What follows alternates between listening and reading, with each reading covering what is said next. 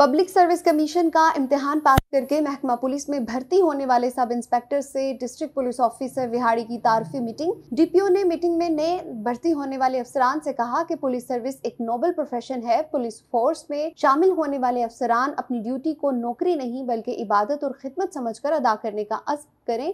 तफसीलात जानते हैं मोहम्मद शामूद नजीर से। जी, बिल्कुल। District police officer Vehari Mohammad Isa Khan ने ज़िले दफ्तर में पब्लिक सर्विस कमीशन के इम्तिहान के ज़रिए भर्ती होने वाले सब इंस्पेक्टर से तारफी मीटिंग का इनका किया। मीटिंग के दौरान डीपीओ विहाड़ी ने पुलिस वर्किंग के हवाले से ब्रीफिंग दी, जबकि उनका कहना था कि आईजी पंजाब के विजन के मुताबिक मुआशरे से जराइम के खात्मा और शहरियों के जानो माल का तहफ़ पंजाब पुलिस की बुनियादी ज़िम्मेदारी है। लिहाजा नौजवान अफसरान मेहनत, ईमानदारी, लगन और तंदोही से अपने फ़राइज सर अंजाम दें। शुक्रिया, शामोद नज़ीर से आगा कर रहे थे।